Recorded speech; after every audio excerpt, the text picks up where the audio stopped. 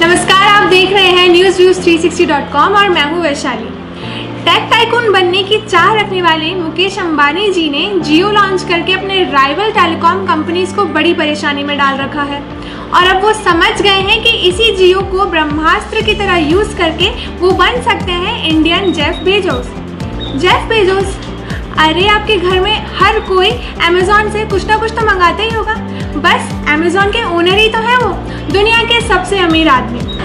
Telecom regulatory authority of India की reports की माने तो 2018 में मोबाइल फ़ोन कस्टमर्स बढ़कर हो गए थे एक दशमलव एक सात अरब और ब्रॉडबैंड यूज़र्स ने 50 करोड़ का आंकड़ा पार कर लिया था। बहुत ही सस्ते डेटा प्लान्स प्रोवाइड कराकर जियो ने 28 करोड़ सब्सक्राइबर्स का अच्छा खासा यूज़र बेस तैयार कर लिया है।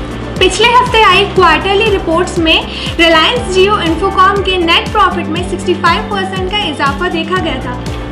इस रिपोर्ट को देखकर माना जा सकता है कि मुकेश अंबानी जी के इंटरनेट टाइकून बनने का सपना जल्द ही पूरा हो सकता है। ऐसी ही कुछ मज़ेदार खबरों के लिए आप देखते रहिए न्यूज़ व्यूज़ थ्री खबरें अलग अंदाज में।